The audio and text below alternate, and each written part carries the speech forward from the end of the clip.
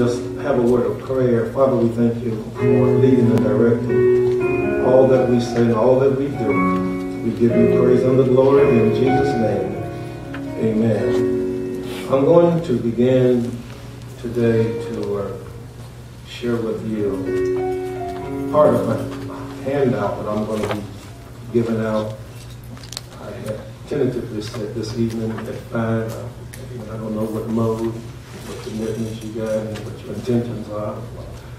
And, but we'll get a feel, feel for that on the end. But I want to begin to lay the foundation. We've already begun to lay the foundation. Something that we have done, uh, been doing is very, very important, highly important. And I don't think that you quite understand the significance of things that, some foundation that we have laid. All right, uh, this scripture is found in Hebrews 13, 8. And it says, Be not carried away with divers and strange doctrines, for it is a good thing that the heart be established with grace. Anyway, that's all I'm going to say. It's a good thing that the heart be established with grace. And uh, I was thinking uh, about the four steps that lead to steadfast faith, four steps. And I was really motivated through the information that we've already made available to you in this little book, uh, Profile of a True Disciple. And it has uh, spiritual maturity and steadfast faith. Everybody wants to be spiritual mature. How many wants to be spiritual mature? How many want to grow up spiritually? How many want to have steadfast faith? Faith that won't waver. Faith that will act and move out and accomplish great things for God. And as I began to go over that and began to reread I believe in reading, rereading, rereading, rereading. See, some of us, we just do it one time. And we say, I read that before. And suppose people that read the Bible through every year would just say, I read the Bible through. I, ain't I don't have to read it no more. How much of it do you think they get when they read it? What percentage of it? Very, very small percentage of it becomes revelation knowledge. You have to keep what doing things. You have to repeatedly apply yourself. And these are things that uh, these four steps that will help you to lead, will help you to to spiritual maturity and steadfast faith in God's word are things that we've already been teaching. Amen. Already been teaching. And I think that if we can grab hold of this, I think that it will produce a higher type of faith for us to receive victory and true success in anything in life. You know, you know, sometimes we as believers we get into a rut and we've tried, we've tried repeatedly, and many times we haven't succeeded in many things. And sometimes we get discouraged and we just kind of get stuck in the rut. But if there's anything that will get you out of the rut and begin to move you forward to really making progress spiritually and getting your faith active and, and steadfast, is going to be these steps that I'm going to give you. Amen. And I, number one, I, I want to start with this because this is the thing that we have been teaching on for the last several weeks. The first step is knowing the ways of our Heavenly Father. This is four basic steps to steadfast faith. I mean, this is the highest kind of faith, amen, that you will be able to develop to accomplish whatever blessing, whatever goal, whatever aim, whatever you are striving to accomplish. Amen. Step one is knowing the ways of our Heavenly Father. Knowing the ways. And this is the message we've been preaching about the Lord's compassion. In order to know somebody, you have to really know their nature. Is that right? You have to kind of know their spirit. How many study people's spirits? Amen. If you're around people, you can pretty well know them by judging their spirit, their nature. And also, you can kind of judge people by the things that they do. Whatever kind of work we do, or whatever kind of interest that they have. Amen. Now that's kind of easy to uh, to judge Sister Hill because I'm very closely connected with her, intimately connected. Amen. So I know her ways. I know her acts too. Bible says God, Moses knew God's what? Ways.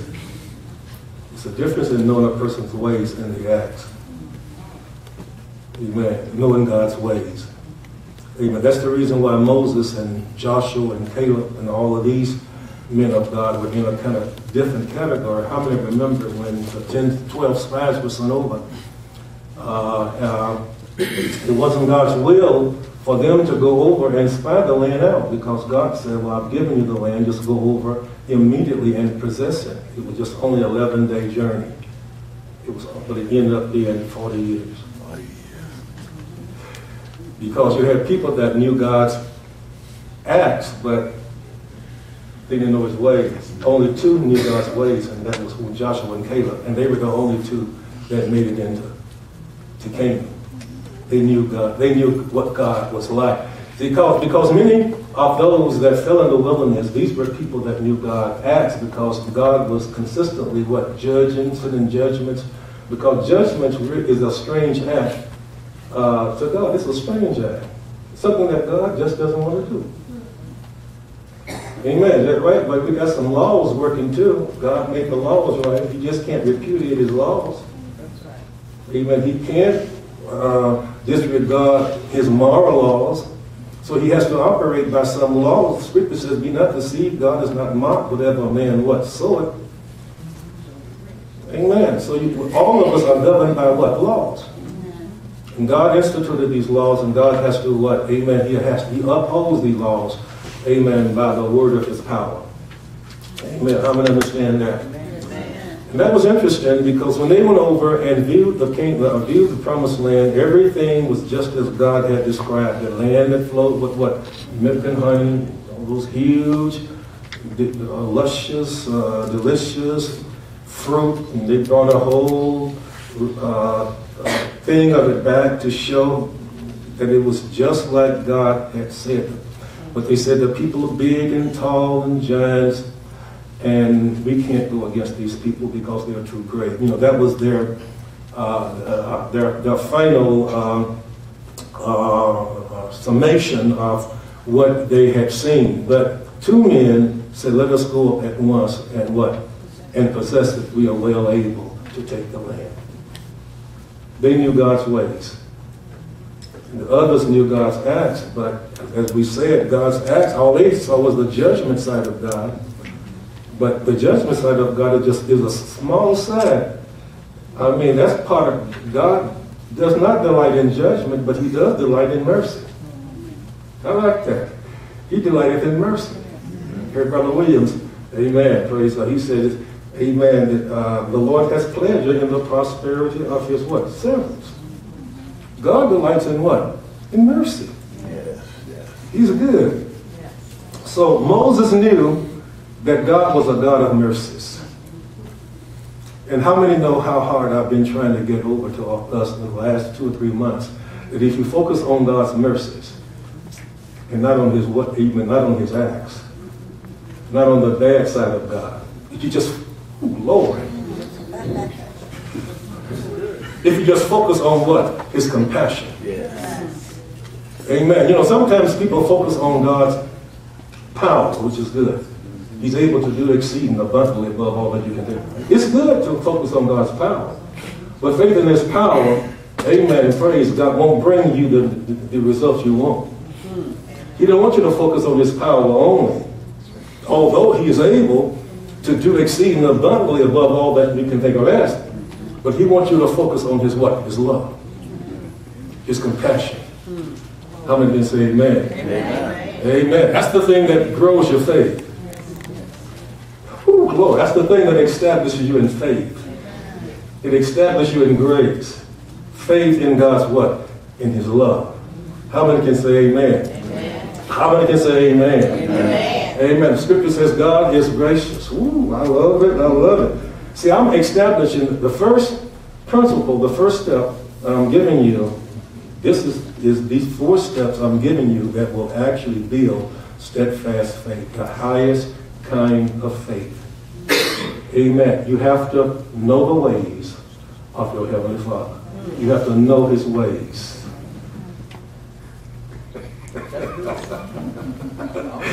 Amen. That's the reason I gave y'all a hundred compassion scriptures. All right. Faith comes by what? And what? Hearing comes by the word. Hearing comes by the word of God. All right. Now, say if you can if you can focus on God's compassion, Amen. God's mercy. Amen. Scripture says He is full of compassion. He's gracious, disposed to showing favor. Everybody just said God is disposed to showing favor. Amen. If you want to know a person, three things you need to watch. Watch their nature. Watch how they are, their spirit. Watch what they do. Watch what, they, what kind of work they're involved in. Amen. Sister Hill works, amen. And what kind of work she's trying to make the house? The work she's trying to keep the house what? The, to keep, keep the business. I mean, she runs the business. She runs the house. She runs me. He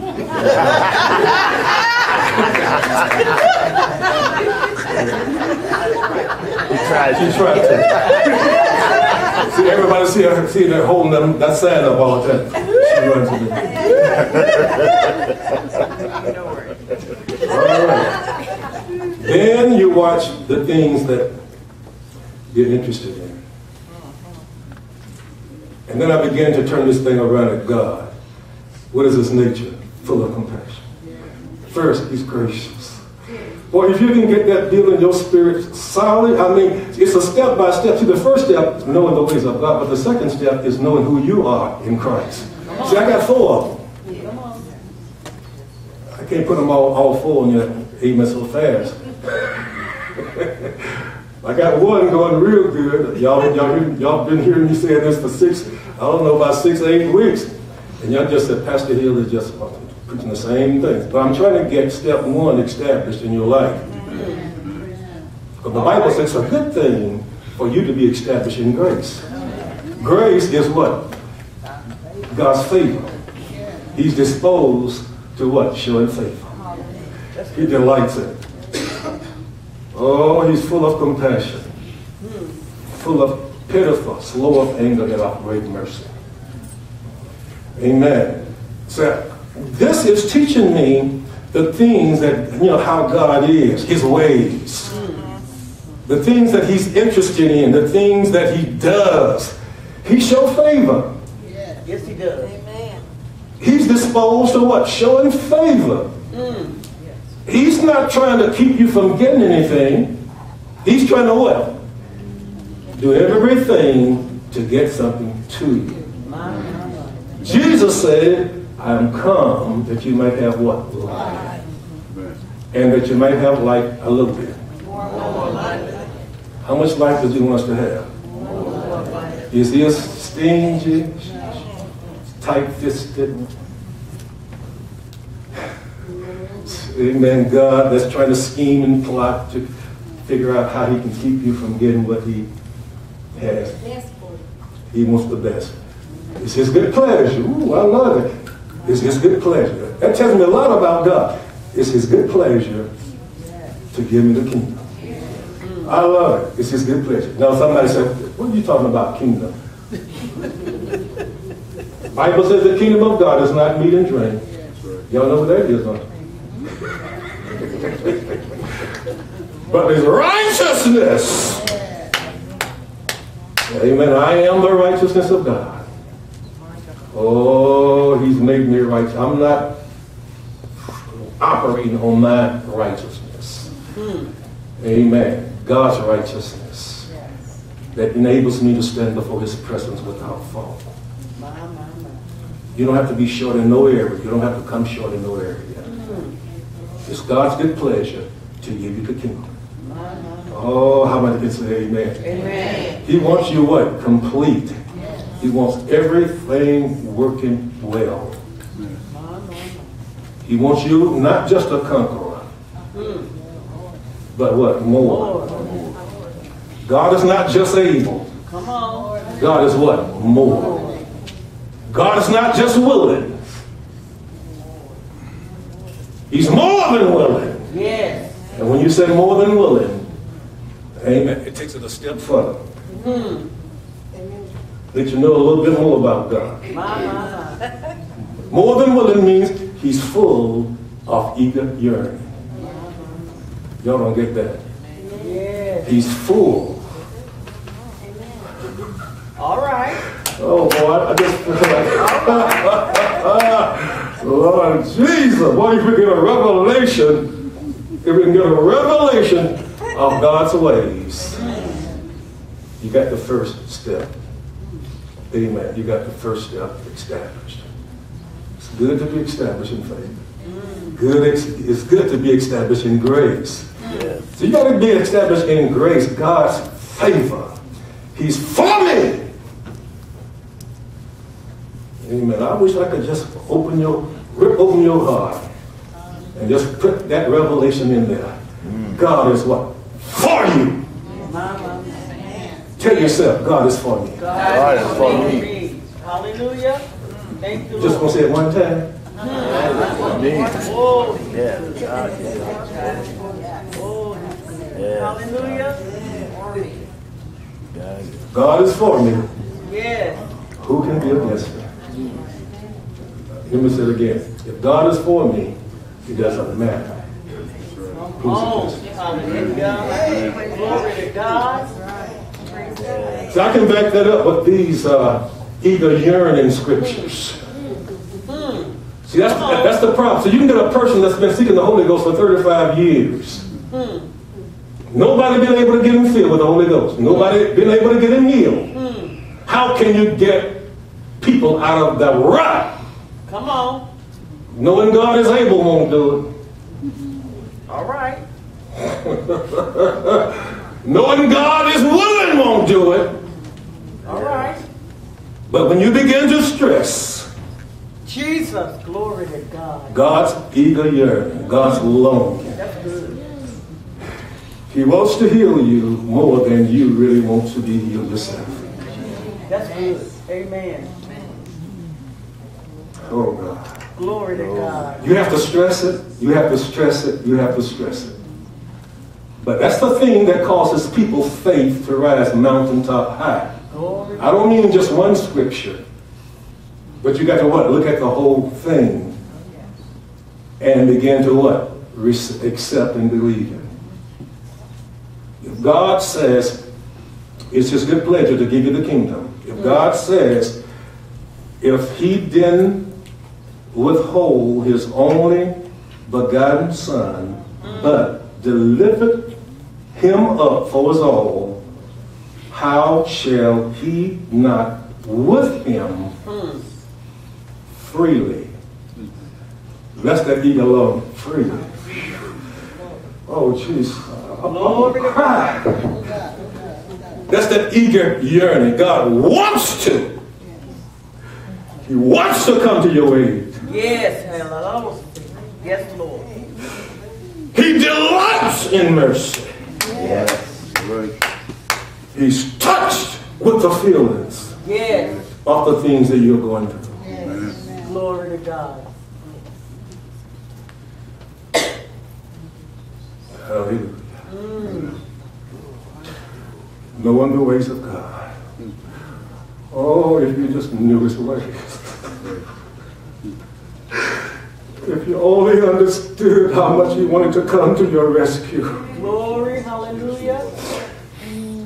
If you just read enough scriptures where it would begin to sink in. I don't care how long the bell has been. I don't care how difficult the situation you're confronting. Hmm. There's one thing that will penetrate all of the adversity, barriers, and hindrances. Amen. He's given all of us a measure of faith. Amen. And if we can get the ways, God's ways established in our hearts, and that's our revelation of God's ways, and God's interests, He's interested in what? In you. How many can say amen? Amen. He is, he's interested in us, right? Amen. Willing that none would perish, and he wants all of us, amen, to be Amen. saved. Scripture says that he's rich to all of them that call upon him. He's rich. Now, all of these are the scriptures that I have all put together in one little, I mean, there's quite a few of them, but all of them stress this. The intense longing that God has to come to our aid. Hmm. Amen. Once you begin to read these and begin to meditate, then you begin to what? You begin to come into agreement with them. Everybody say come into agreement. Come into agreement. All right, now here's where most of us will miss it. You can look at all of the scriptures that I have given you, shared with you, written down, got them typed. Pay a lot of money to get them typed up and give them to you. And just take them home, lay them down. They, then they won't what? They won't help you. Hmm. See, those three areas, you gotta get that settled before we go to the next area, because I've already begun to talk about the way that you have no mercy is that you have to what? Show mercy. That's the second area, because it said knowing who you are in Christ. When we know who we are in Christ, then we are what? We are absolutely sure that as we go and begin to release our compassion toward others, that it's going to be God working through us, His will, and the ability to do all that He has said that He would do through us. Mm-hmm. Because you will be what? Count on, reckoning on what? God's ability that's working in me. It's not me. Everybody say it's not me. It's not me. That's the second step, knowing who you are. Knowing who you are. But knowing who you are is not going to work that well for you until you get the first step settled. You have to know how God operates. That's good. All right. Oh, Jesus. Hallelujah. oh, hallelujah. Hallelujah. That's the thing that sustained Moses. That's the thing that sustained Jacob and Joshua. They knew that God was full of mercy. Remember, uh, remember when these little stories most of us already know. I could just take the Bible and read them to you. Amen. Uh, when Daniel was given the message, the death sentence that all that the king had sent to around all of the wise men of Babylon because nobody had been able to interpret the king's what? Dream. And they called on Daniel. Daniel said, just give me, just give me a little space and I'll come and what tell you. Because all of the other interpretations that all the other magicians and astrologers had failed. If you read that and search it out, I'm gonna tell you, I'm gonna tell you, I'm, I'm gonna let you turn there, that's the second chapter.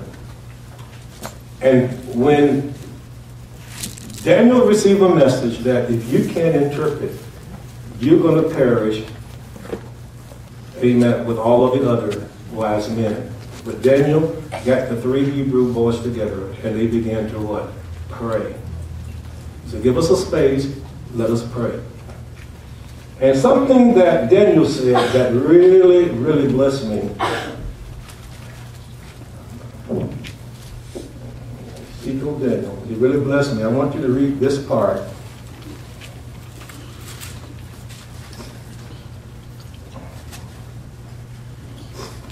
Then Daniel went, this is 2, 17. Then Daniel went to his house and made the thing known to his friends, comrades, companions. Verse 18, that they would desire mercies of God.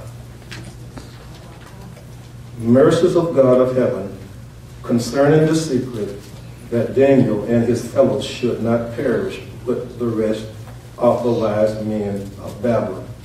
Then was the secret revealed unto Daniel in a night vision. Then Daniel blessed the God of heaven. Daniel answered and said, Blessed be the name of God forever and ever, for wisdom and might are his, are his. And he changes the times and the seasons. He re- removeth kings, setteth up kings. He giveth wisdom unto the wise, and knowledge to them that know understanding. He revealeth the deep and secret things. He knoweth what is in the darkness, and the light dwelleth with him. I thank thee and praise thee, O thou God of my fathers, who has given me wisdom and might, and has known, made known unto me now what we desire of thee, for thou hast now made known unto us the king's matter. Amen. Now, if you notice there in that 18th verse, he says that they got together and prayed and asked the Lord that, that they would desire mercies of, of the God. So they knew, Daniel knew that God was a God of what?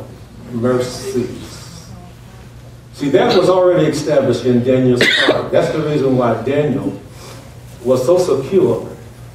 And when the when they approached him to interpret, this is what he said. He said, Daniel went in and desired 16 and desired of the king that he would give him time and that he would show the king the interpretation. He was absolutely what? Sure that the interpretation would come. Because he knew that God was a God of what? Of mercies. You think he was establishing God's mercy? You think he was now another thing too. After God gave him skill and wisdom and knowledge and understanding and all of that, Amen. The Bible says he began to what? Praise and magnify God. See, if you look at all of the steps that lead to spiritual steadfastness or spiritual uh, growth, or we can say steadfast faith, knowing the ways of God. Number two, knowing who you are in Christ. Everybody just repeat that. Knowing Who you are in Christ. and you're not going to be established in knowing who you are in Christ until you're established in what? In grace. You have to be convinced. You have to feed, feed yourself. Feed yourself. Touch, touch somebody close and say, you got to feed yourself. You got the teacher. You got to feed yourself, amen, the teachings, the word, that focus stress that talks about God's compassion and God's longing and God's intense craving to give you the kingdom. Amen. You got to convince yourself through the word. That's the only way. That's the only way you can convince yourself. That's the only way you can what? Convince yourself that God ain't slack concerning his promises. That God is faithful that promise. Yes. You have to feed yourself that aspect of God's word. And after you feed yourself, then you have to what? Talk to yourself. You have to say it. Amen. We have to say it. See, everything that's going to be meaningful to you, it's got to be affirmed.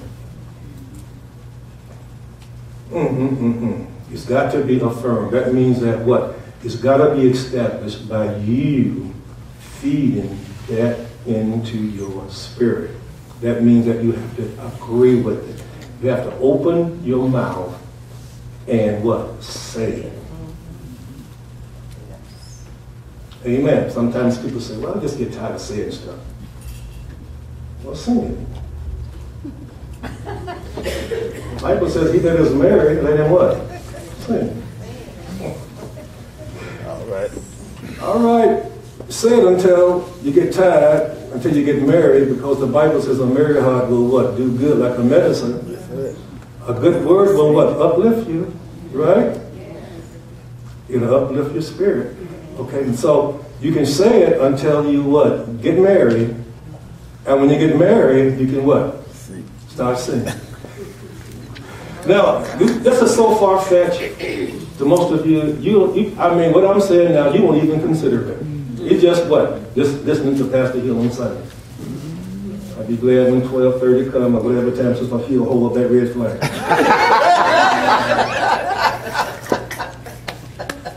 And this is how we miss out on what? God's best. I'm training myself to hunt up every time I come across a scripture that stresses and focuses on God's intense desire to get the fullness of his blessings released into my, to my life. You know, scriptures like, I'm complete in him. Man, I eat stuff like that up. In other words, he's my righteousness, he's my sanctification, he's my redemption, and he's my what? He's, he has become wisdom. I said, it. I said that to God. Doesn't that sound strange? I said, Lord, this is what you said about me. All of these things you're trying to get to me, all of these are what? Mercies. The Bible said they are new every morning. The Bible says he has given us everything that pertains unto what? Life and unto God. Now, all of these scriptures are in that list. You say it, you say it, you sing it. You sing it, you sing it. You pray it, you sing it. You pray it, you sing it. And it makes you what? Your heart glad. When you get established in that, you'll know it. Because the joy of the Lord will begin to be your what? Strength. See, I, you know, the four steps, I said knowing the ways, knowing who you are, you got to know your enemy, which is the devil. All of these involve maybe weeks of teaching and focus, each of them. And the last one, you have to worship. The fourth would be worship. That's the reason why I get my little worship in every time I say one of these scriptures. Oh, but this fellow God. Daily loaded me with benefits. I said that to the Lord, you say you daily. Daily what? Loaded me. Somebody help me to say it again. You what? Daily. Come on, you daily. Loaded me. Amen. You said I'm loaded every day. Some of y'all wouldn't dare to say it. How can I say I'm loaded and I'm broke? All right. How can I say His grace is sufficient when I have so many needs? We are governed by what? Circumstances. But God wants us to be governed by what? His Word. And you will never be governed by it until you begin to what? Receive it. You have to what? You have to what? Speak that word out.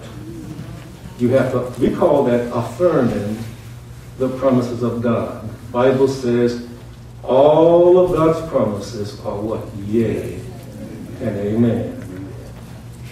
All. Everybody just said all.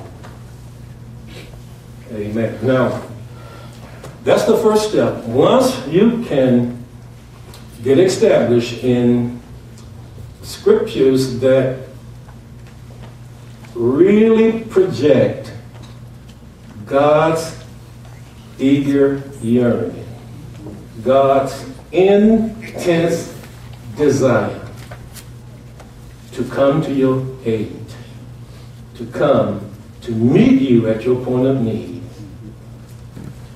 then your faith is going to be that far from being perfected, and your foundation will always be weak. That's the thing that made who? Daniel confident. He said that, just give me a little time, I'll get you the what? The answer. Remember Joseph? Y'all studying Joseph in Sunday school? One thing about Joseph that stands out among all of the teachers, when Joseph was the thing that came, I mean, the opportunity that presented itself to change Joseph's circumstances was the opportunity to, or what, to translate or to reveal, interpret what? Whose dream was that? All right, the king's dream, right? When Joseph was approached, because he had already interpreted the dreams for the two, the baker and the baker, right? And everything he predicted, everything that he had prophesied about the baker and the butler, it what? Came to what? Pass. When the king approached him to interpret his dream, guess what Joseph said? He said, It's not in me. I can't do that. It's not in me. So he was not trusting in what? Himself. He knew he didn't have the ability, but he did know that God was a God of what? He's a God of mercy. And that God would what? Do it through him. How many can say, I can do all things? I can do all things. Amen. Tell three people around you, I can I do. do Say it again. I I can do all things. I can do all can things. what? Do. All things. All right, I want you to say three times, I can do it. I can do it. Say it three times. Say it again. I can do it. I can what? I can what? All things. Through who? Through Christ. Yes. Now, amen. I can do all things. You know how close you are to your blessing? Do you know how close you are to a what transformation in your financial affairs?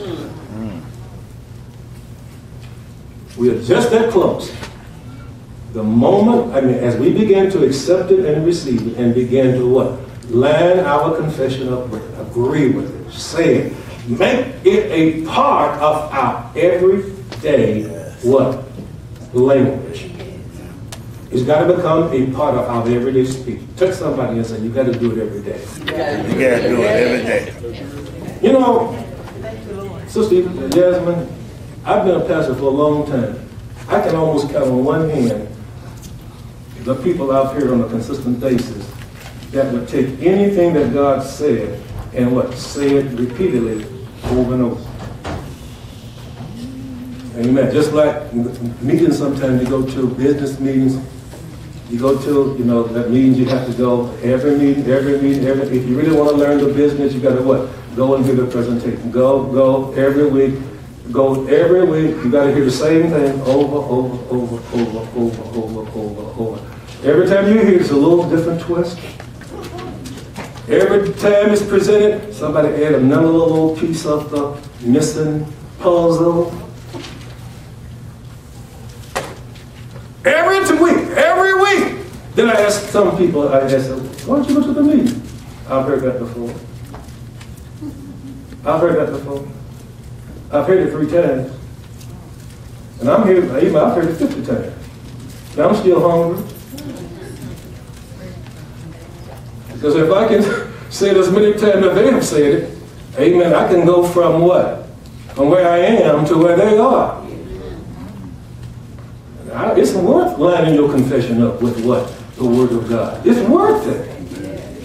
It's worth it. Now, if you're, if I would have to say, you know, amen, if I would have to say, if there's one thing that have kept us back all these years, it was that we really, Sister Hill always throw this in my face. She said, people don't believe the word.